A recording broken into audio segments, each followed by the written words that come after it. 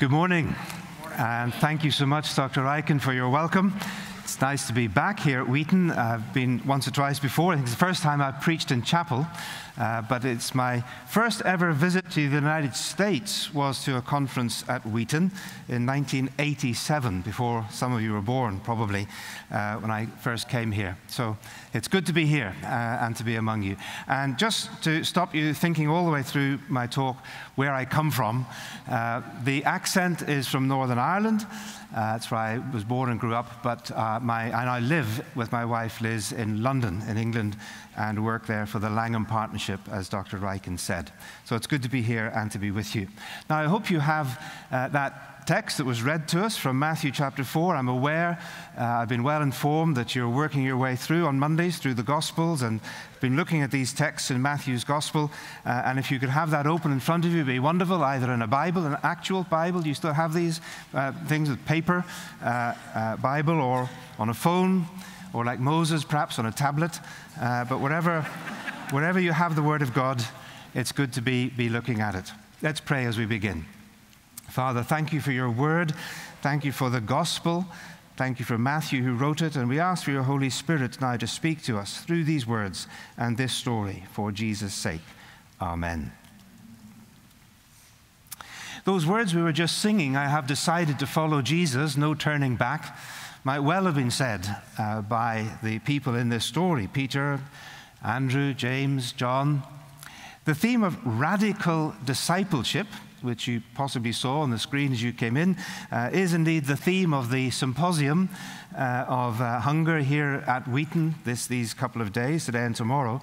But it would also, of course, be a very good title precisely for this passage of Scripture. Uh, especially that central paragraph, Matthew chapter 4, verses 18 to 22, when Jesus calls his disciples. But we need to see a passage like this always uh, within the context of what the writer, Matthew in this case, is seeking to do.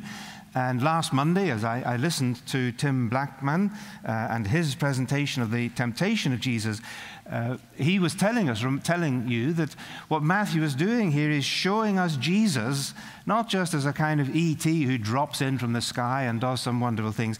He sees Jesus as the new Adam. Uh, he's bringing a whole new humanity to birth.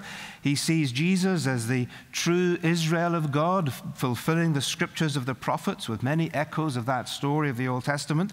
So here is Matthew saying, Here is the true Son of God, the one who, unlike Israel, who was God's firstborn son, uh, would be faithful to him and be obedient to him as he proves through the temptations in the wilderness after his baptism. Here, says Matthew, here is the beloved servant of the Lord, as the Father identified him at his baptism, the one who will fulfill the mission of Israel to bring light and blessing to all the nations on the earth. And now, at last, says Matthew, after all that preliminary there in chapters 1, 2, and 3, through his infancy uh, and the stories of the Magi and everything else, now it's time to go. It's time to get this thing on the road. Uh, and so, in these past few chapters, John has baptized him, God has identified him, the devil has tested him, and it's time now to be on the move. And so let's look at these paragraphs here, these three phases uh, in verses 12 to 25 of Matthew chapter 4. We see three things. One, Jesus launches his mission. Secondly, Jesus calls his disciples. And thirdly, Jesus demonstrates the power of God's kingdom. So, first of all, in verses 12 to 17, Jesus launches his mission, but does so with resonances and echoes from the scriptures. Matthew tells us that Jesus moved to Capernaum in Galilee.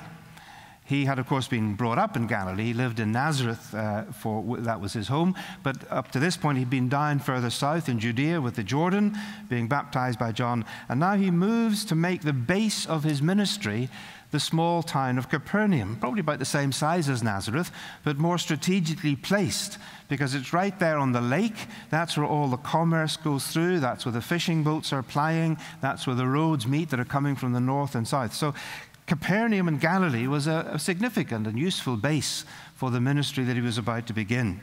But it was significant in other ways, not just strategic.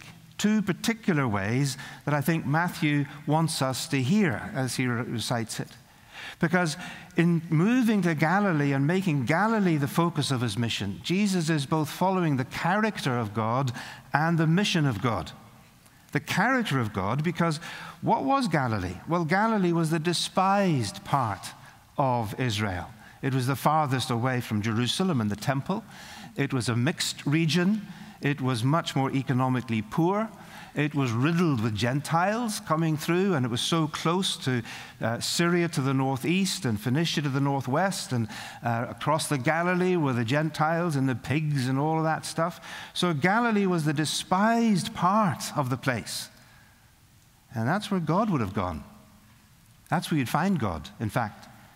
I don't think Matthew uh, quotes it, but he might well have had in mind what God had said in Deuteronomy chapter 10 that the Lord your God is God of gods, Lord of lords, the great God, mighty and awesome, rules the universe, runs the universe. But where will you find him?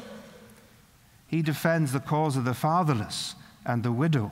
He loves the foreigner residing among you, plenty of them in Galilee, giving them food and clothing. And so you are to love the foreigner, the immigrant, the refugee.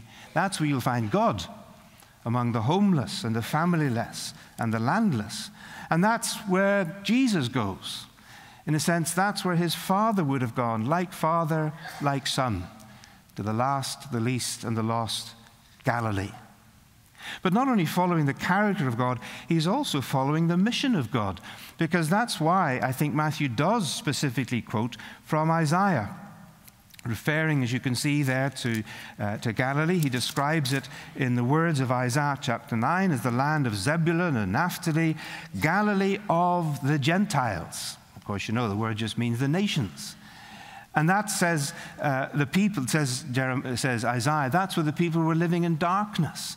That's where they'd not yet received the light of God, which in Old Testament times was to be in the light of Israel, and then, of course, the dawning light of the coming Messiah. And so here is Matthew saying that God's mission for Israel is ultimately going to reach to the ends of the earth. That's precisely what he told Abraham. Through you, all nations will be blessed. I have made you to be a light to the nations, says God to Israel. And so here is Jesus, the Son of God, the servant of the Lord, the embodiment of Israel's identity. And where does he go? To Galilee of the Gentiles, Galilee of the nations. So, by locating himself there and by Matthew quoting from the Old Testament scriptures, Jesus himself, in a sense, is anticipating what will come in the future. His own mission, of course, as we know from Matthew's gospel and elsewhere, his own earthly mission was predominantly among his own people, calling the people of Israel back to God, which was the task of the servant, with a few significant exceptions when he went outside the boundaries of Israel. But when you come to the end of Matthew's gospel, what do we find? Those famous words there in Matthew 28. Now, says Jesus, the risen Jesus, now it's time to go and make disciples of all the nations, just as I made disciples of you in Galilee of the nations. So here is a, uh, Jesus launching his mission with these resonances of Scripture it's a geographical location. It might just look like a little detail. He went to Capernaum. Okay, so what? But it's a geographical location that's full of theological meaning and missional intention. So that's the first thing. Jesus launches his mission, verses 12 to 17. Then, secondly, Jesus calls his followers to radical discipleship between verses 18 to 20. Now, I don't know if you noticed, but three times in those verses we read the words, and they followed him. They're identical words in the Greek. It's there in verse 20 Peter and Andrew followed him. It's there in verse 22 James and John, the two brothers, sons of Zebedee, they followed him. And it's also there in verse 25 to describe the large crowds, and they followed him. I was fascinated by that, and I, I, quickly sort of skimmed through the rest of Matthew's gospel, and he refers to these crowds again and again. They're always there, uh, mostly favorably, uh, hearing Jesus, listening to his teaching, uh, admiring him, wondering how amazing this is, uh, being healed of their diseases, approving of what he's doing, and so on, until the end of the gospel in chapter 27, verse 20, when they've turned against him And they're crying out, No, no, we don't want him. We want Barabbas. Crucify him. Same crowds. Probably because all their hopes that this Jesus they were so following and admiring was going to be their messianic leader in some great apocalyptic war against Rome. And when he disappointed those hopes, the crowd stopped following him and turned against him. So Jesus had many followers in Matthew's gospel, but very few disciples. Followers, like Twitter followers, you know, just follow, follow, follow wherever he goes to watch. But Jesus' call to these men, who eventually become 12 of them, uh, is a call to a kind of following which wasn't just for the sake of the healings and the excitement and everything else, but was a call into a radical form of discipleship which would cost them virtually everything and for some of them would cost them their lives. Now, it's probable when we read these verses, it may seem that Jesus just turns up one day at the side of Lake Galilee and says to a couple of guys, Come and follow me, and they do. But almost certainly it took longer than that. Uh, John tells us, John chapter 1, uh, how Andrew, Peter's brother, had been a disciple of John the Baptist, and then John the Baptist pointed him, pointed them to Jesus, and then he goes and finds Peter. Uh, we know also that of Nathanael and Philip. Luke chapter 5 tells us of another encounter of Jesus with Peter by the lake uh, when he was teaching from the boat, and that may have been before this or after it. It's very probable, most likely, uh, that Jesus knew these guys. Jesus was a skilled tradesman. Uh, his father was a carpenter, is the usual translation. Uh, but the word means not just a, a, worker in wood, it means basically a handyman, someone who was skilled at working with wood and stone. And often such people were itinerant. So it's very possible that during his 20s, Jesus of Nazareth was, was around that area, uh, mending the boats, helping with any small projects, earning a living for Mary and, and his siblings, and so on. So, very probably, he was a known figure. Uh, and his summons, therefore, in chapter 4, verses 18 to these men didn't just come completely out of the blue, but it was radical, it was challenging. In fact, it was challenging culturally, economically, and socially. First of all, it was culturally surprising. Because in Jesus' day, rabbis did not usually choose their own disciples. What happened was uh, that a young person, a young man, would choose a rabbi uh, and say, I want to be your disciple. Will you please take me on and teach me? You sort of chose your curriculum with a particular rabbi. But you remember how Jesus said to his disciples significantly, You did not choose me, I chose you. And Jesus didn't just choose a bunch of bright young boys eager to learn uh, the Torah with him, like students. No, he chose working men, artisans, tradesmen, small business people like James and John probably were. And then he uses their skills and their profession as a metaphor for what discipleship would mean. Very interestingly, just like God had called Moses and David, who were both shepherds, and then called them to be shepherd leaders of their people, so here Jesus calls fishermen and says, I tell you what, I'm going to make you fishers of people. Probably a metaphor meaning you will be the ones who will help me gather Israel in, back into repentance and faith and obedience. So his calling was culturally contextual to their work, but also at the same time surprising in taking the initiative in calling them in the first place. Secondly, perhaps more significantly, it was economically costly. You see, fishermen uh, at that time, they were not peasants. They were not the poorest of the poor, these disciples. Uh, the, the, fishing business around Galilee was a business. Uh, it was abundant. Fish were caught. They were either eaten right away, but more often they would be dried or pickled or salted and then exported around the country. Fish oil was used in lamps. Fishing was a good business. And Luke tells us, Luke chapter 5, verse 10, that uh, the brothers, Peter and Andrew, and James and John, were probably in some kind of joint family little consortium under Zebedee. Uh, and quite profitable it was because Mark tells us that they had hired servants as well as the brothers. So here's a family business. And to leave that behind was going to be a big risk, especially if uh, the, the strapping second generation adult men who could run the boats and man the boats left. So, from the Gospels, we see that Jesus himself was making a kind of circuit of the Galilee region, all within walking distance, of course, but it would mean long periods away from home. And you remember how Jesus himself said uh, to people who wanted to follow him, He said, Look, the Son of Man has nowhere to lay his head, which probably means he had to be a guest in other people's homes or sometimes even just to sleep outside. And so here, these disciples are becoming, instead of supporters of their own family, they're becoming dependent on other people's generosity and support. It was no wonder that they said to Jesus on one occasion, We've left everything to follow you. Sort of subquote, What's in it for us, as it were. And, and, Jesus has to say that no one who has left everything for my sake in the kingdom will not be rewarded in so many different ways. And he says, The kingdom of heaven is like a treasure that someone finds and sells everything that they have in order to obtain.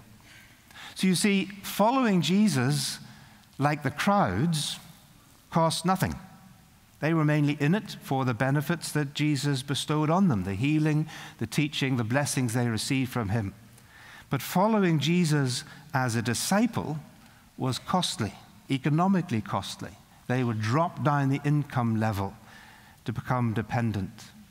So it was culturally surprising, it was economically costly, and it was socially scandalous. Matthew tells us in verse 22 that they not only left their boats, but also their, and their business, but also their father. And for that time, at least, it probably meant that they left their wives and their families as well as they followed Jesus. And of course, probably they went back home from time to time. I mean, it wasn't necessarily the whole of the time, but nevertheless, this was a significantly socially offensive thing to do. That's why when Jesus told somebody who wanted to follow him and said he wanted to go and bury his father first, and Jesus comes out with that incredibly offensive saying, Let the dead bury their dead, you come and follow me. Now, we need to be careful. We're not suggesting here that Jesus was anti family, as is sometimes alleged by some commentators. In other parts of the gospel, we know that Jesus strongly defends the foundation of marriage and the sanctity of marriage.